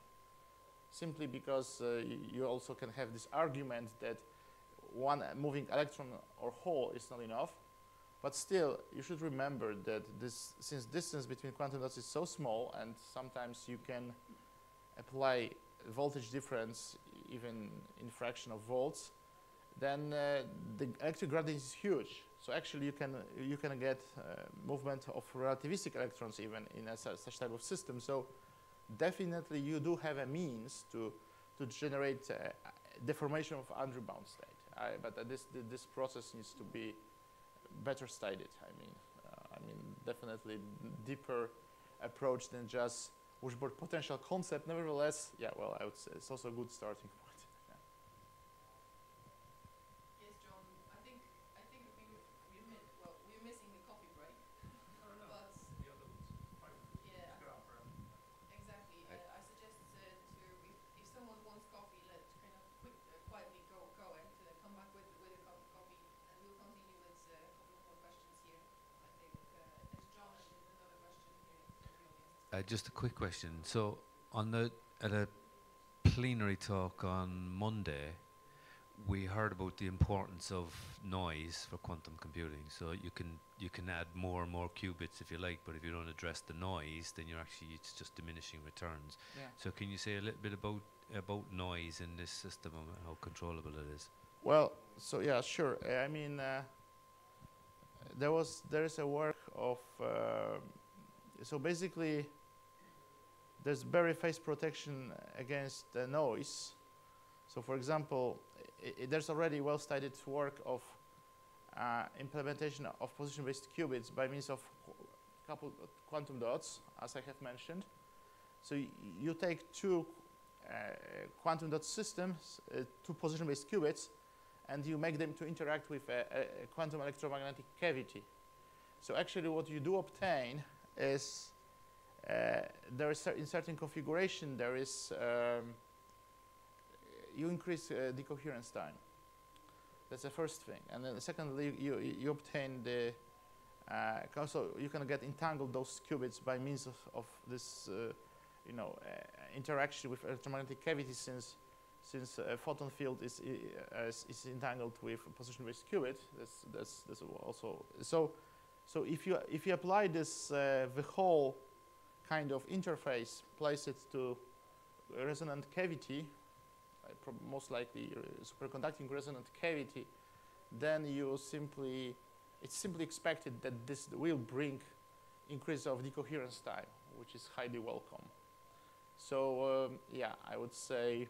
Mm, yeah, so this is one of one, one of way of thinking. Second way of thinking is that actually you are using only these uh, single electron devices to to set the positions of, of, of, electrons and then instead of their position you are using their spin.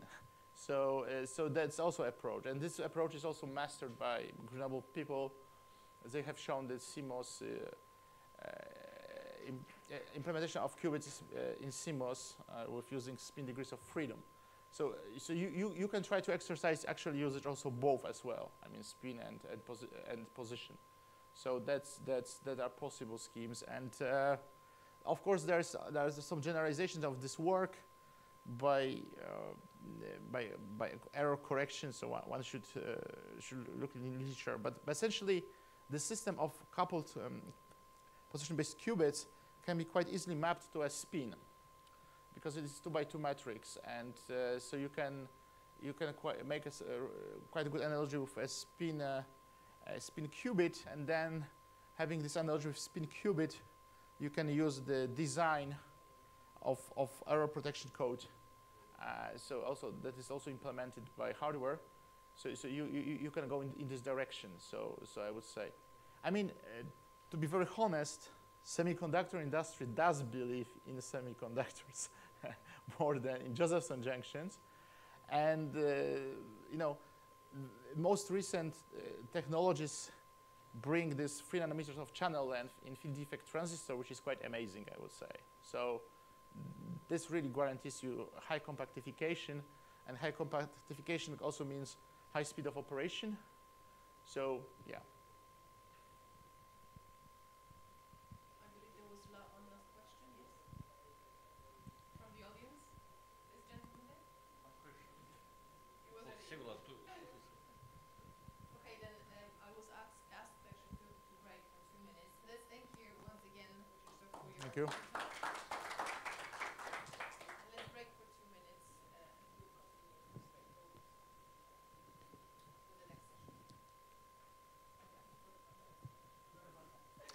to least there was some questions.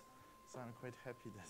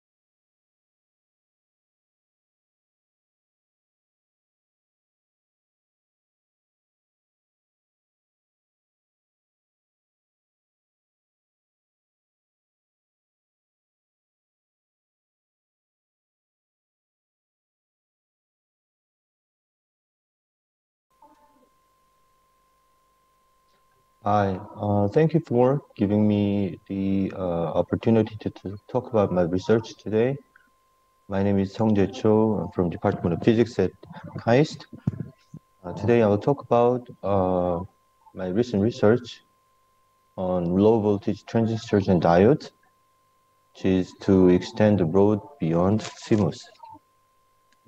And some of the results, uh, especially low voltage transistors, are published in Nature Nanotechnology and Nano- Nanoletters last year. And about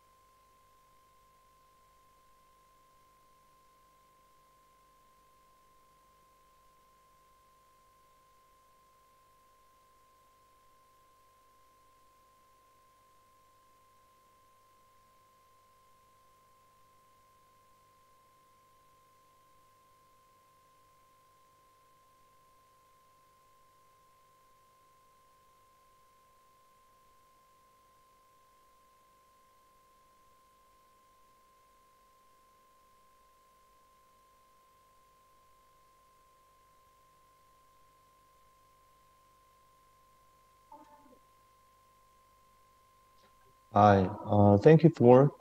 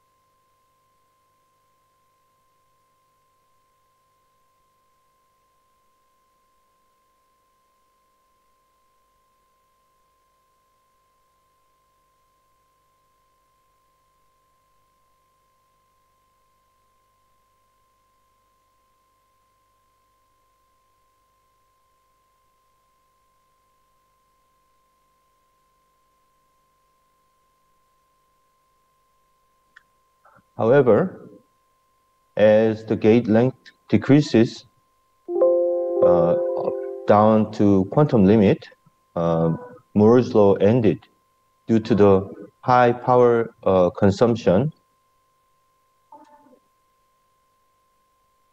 Hi, uh, thank you for giving me the uh, opportunity to, to talk about my research today. My name is Sungjae Cho. I'm from Department of Physics at KAIST. Uh, today I will talk about uh, my recent research on low voltage transistors and diodes, which is to extend the road beyond CMOS. And some of the results, uh, especially low voltage transistors, are published in Nature Nanotechnology and Nano- Nanoletters last year. And about diodes, it's not published yet. according to Moore's law, continuous downscaling of transistors enables today's information technology. However, as the gate length decreases uh, down to quantum limit, uh, Moore's law ended due to the high power uh, consumption in the standby leakage power uh, leakage uh, standby uh, state. As you can see, it says the gate length decreases, active power, both active power and standby power uh, density increases, but however, the standby leakage power density increase more steeply. How can we reduce this power consumption and extend uh, Moore's law? The power, active power consumption is proportional to the VDD, which is power uh, voltage, operating voltage, voltage sca- uh, square, and standby power density. Leakage power density is uh, uh, uh, proportional to the operating voltage. To decrease both the active and standby power density, we need to decrease VDD, operating power, operating voltage. However, if you just with the same uh, for the same IV characteristics, if you just reduce the the operating voltage, then what what what happens is the off-state current increases and standby power density increases. So to reduce both active and standby power density, we need to reduce this uh, subthreshold swing, so-called subthreshold swing, which is inverse slope of this IV, IV curve. So this, if you uh, if you look at this blue curve, this inverse slope is much steeper than the red curve, and in that case, you can reduce the off-state current and also the operating voltage.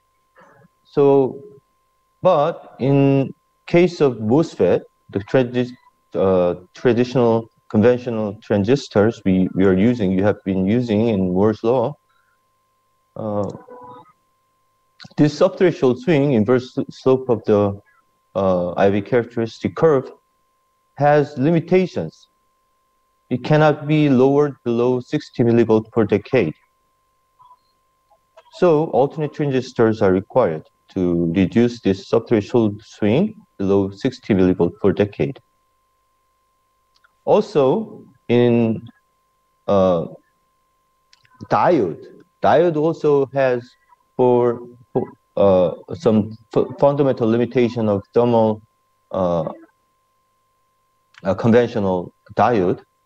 So, uh, how steep uh, this curve, this IV IVG curve in transistor is is re- represented by subthreshold swing, but in diode, how steep is this uh, uh, uh, I the current versus volt, uh, bias voltage is represented by the ideality factor. So if the ideality, ideality factor is smaller, then what it means is that you can use smaller voltage to induce the same amount of current. But in conventional uh, diode, ideality factor cannot be lower than one due to the Boltzmann distribution. So my research goal here is to overcome these both limitations of the conventional transistors and also conventional diode. So let me start with the low voltage transistors. So alternate transistors are required. Among them, uh, tunneling FET is one of the most uh, promising alternate transistors. Tunneling FET has carrier injection mechanism different from conventional MOSFETs. Conventional MOSFET operates by thermal injection. As you change the gate voltage, this barrier, potential barrier, uh, moves up and down, and thermal carriers over the, the barrier basically uh, uh, contribute to the uh, uh, trans current transport. So therefore, the current is proportional to this exponential uh, EV over minus EV over KT. Therefore, this thermal uh, current, for this thermal current, subthreshold swing is linearly increasing with temperature, and uh, as subthreshold swing cannot be lowered below 60 millivolt per decade. In case of tunneling FET, the tunneling inject carrier injection mechanism is not a thermal injection, but it's band-to-band tunneling. Therefore, the band-to-band tunneling is basically uh, it, it's PN junction and reverse bias PN junction. So if the, this lambda, which is tunneling length, is small enough, and and if we have some positive delta phi, which is the uh, energy difference between the conduction band edge and the valence band edge, then then current can flow. Electron can basically tunnel through this tunneling barrier. That's band-to-band tunneling. And this band-to-band tunneling is basically nothing to do, has nothing to do with this thermal tail. So basically, it's cold carrier injection. Even at room temperature, it's cold electron uh, tunneling tunnel through this tunnel barrier. So it's subthreshold swing and tunneling. This probability is, has has no dependence on temperature, and subthreshold swing also has no dependence on temperature, and it has no no limitation at uh, 300 room temperature. So TFET could replace MOSFET and solve power consumption problem by reducing the subthreshold swing below 60 millivolt per decade. However, uh, there are challenges in TFETs to replace MOSFETs. Basically, the subthreshold swing should be lower than, should be uh, less than 60 millivolt per decade over a wide range of uh, current. But in in, in reality, what people have found that it's very difficult uh, to make fabricate this kind of uh, tunnel tunneling FET having subthreshold swing, small subthreshold swing over a large range of current. It's, it only Uh, has 60 millivolt per decade, below 60 millivolt per decade, only in small range of current. And also, the, the biggest problem of this tunneling FET is that its on current is very low the, the on current at the subthreshold swing becomes 60 millivolts per decade is called I60. I60 should be comparable to the MOSFET on current at the threshold voltage, which is about 1 to 10 microampere per micrometer. If the on current is small, that, that means uh, delay, tunneling delay is long. As large, uh, so basically transistor uh, switch on and off very slowly because it you can think about think about it as a, a capacitor charge charge the transistor on and off but the current if the current is low then then turn, uh, charging time increases right? So how can we uh, overcome this problem? So to increase the, the i60 because uh, the on current people uh, found that uh, from the simulation that if you fabricate this uh, tunnel FET body with a heterojunction, not just a single material, for example, here, uh, the blue curve and the red curve, the solid line, uh, uh, dashed line basically mean dotted line means this the single material channel silicon, and this solid line means uh, it has um, a heterojunction body, a TFET body. One indium arsenide has small band gap, and another material, silicon, is a large band gap. So if you make this heterojunction with the uh, small material, small band gap material and large band gap material, what happens is that this lambda, delta lambda, here, tunneling length decreases significantly. And also delta phi for on the same voltage, on the same voltage, delta phi increases here from this valence band, uh, band, band, band edge to the conduction band edge. Here, this, this height increases. Delta phi increase and lambda decrease, the tunneling probability increases. That means on current increases. So as, according to the simulation, if you make this heterojunction body with the heter, uh, uh, small bandgap material with, and the large bandgap material, a large on current can be obtained uh, with the small SS.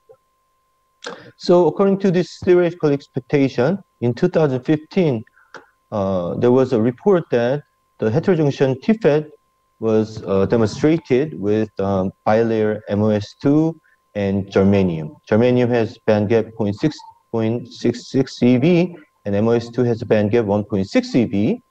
And uh, in this heterojunction TFET, they obtained uh, demonstrated subthreshold swing 60 below 60 millivolts per decade over four decades of current, which is quite wide range of current.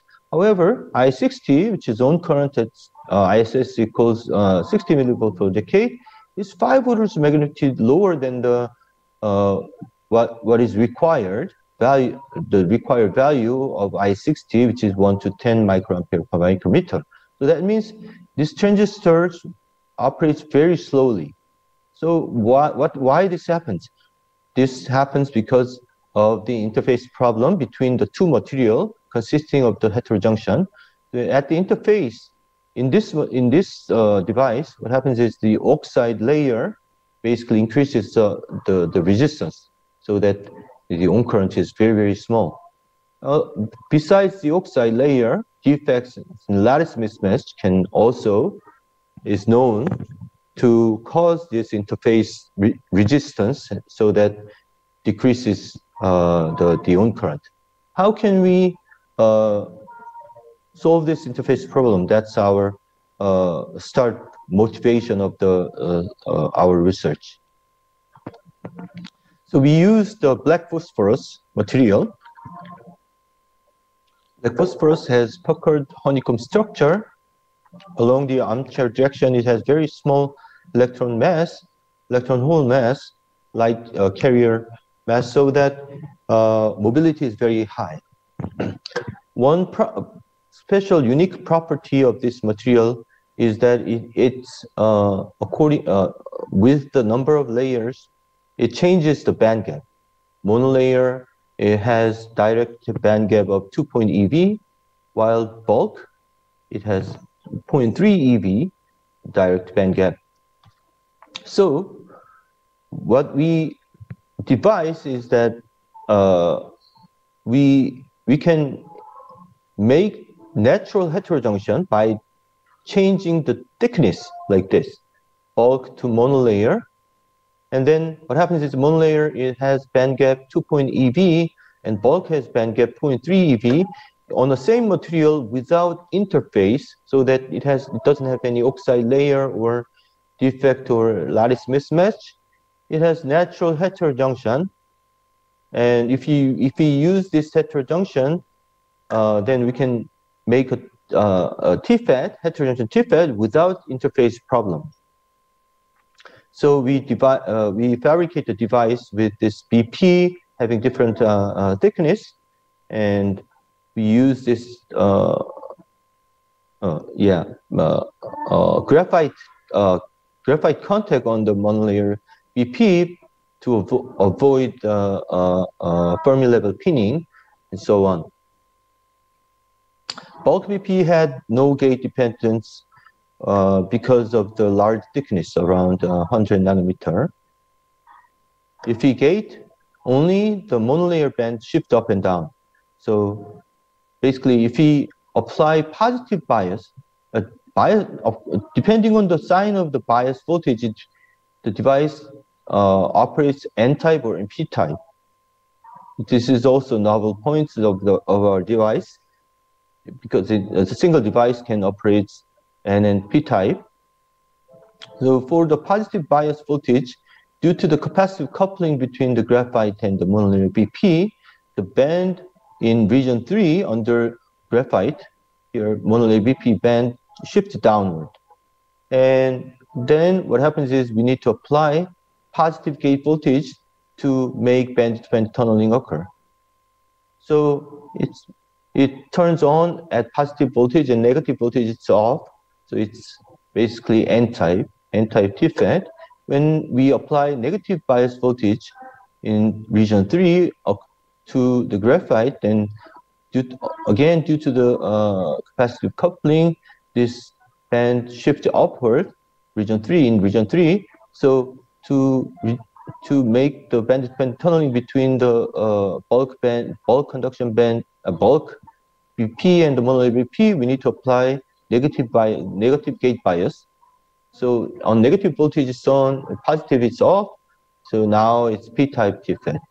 So sign of uh, bias determines the N-type or P-type operation. So here's the result, uh, characteristic curve. What we have is both p-type and, and we demonstrated both p-type and n-type with a subthreshold swing over four decades of current, smaller than even even 30 millivolts per decade. This is record low value of subthreshold swing in TFET in history. And also, more importantly, we we found that I60, which is zone current, is very compatible, very close to the MOSFET on current at the threshold voltage, which is about 1 to 10 microampere per micrometer. So order is very similar. This is the first demonstration of the uh, TFET, both N-type and P-type. There were no P-type, uh, previously there was no P-type TFET that shows uh, subthreshold swing below 60 millivolts per decade over four, four decades of current. And also, uh, I60 close to the desired value. So temperature dependence, as you can see, the in the band-to-band band-to-band uh, uh, band-to-band tunneling region, which is here, this is a P-type uh, band-to-band tunneling region, the uh, subthreshold swing is temperature independent. So this slope didn't change with temperature, However, in thermal re injection region here, uh, temperature as temperature increases, the subthreshold swing increases, linear dependent on temperature. For N-type operation of TFET, also in the band-to-band tunneling region, the this slope didn't change with temperature. However, in thermal injection region, as the temperature increases, subthreshold swing linearly depends on temperature. And this device is encapsulated with HBN and very stable uh, over time. And uh, so it has endurance that, and also hysteresis free. And we use the, because of, to, to, to, uh, uh, we use the, the, monolayer, uh, the, very thin, ultra thin HBN in the previous result, we used the uh, two or three layer of uh, HBN. Now we reduce the, the HBN here between the graphite and the monolayer BP to monolayer HBN. And what happens is the I60 increased uh, more than about two decades of uh, two orders of magnitude.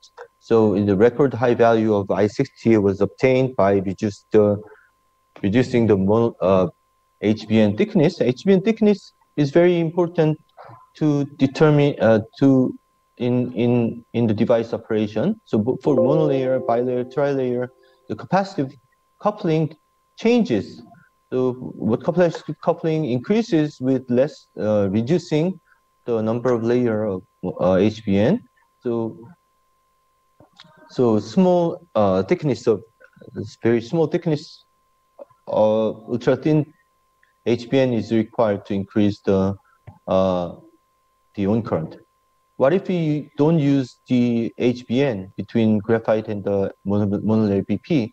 Then what happens is current just pass no longer pass through through the black phosphorus below HB uh, below the graphite because graphite has much much higher conductivity. Now all the current goes from channel just go through the graphite now directly. So in region three here, which is the black phosphorus underneath the graphite, now no longer act as channel.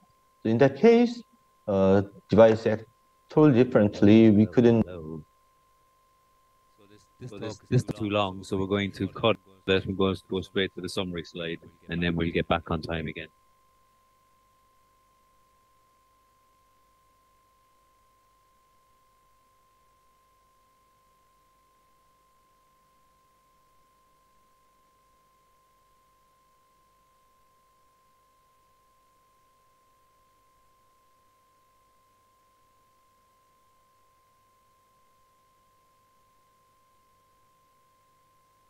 Microampere per micrometer. We also demonstrated recently the first Dirac source diode that operates based on cold charge injection from the Dirac source. And we demonstrate ideality factor for the first time less than one. Thank you very much for your attention.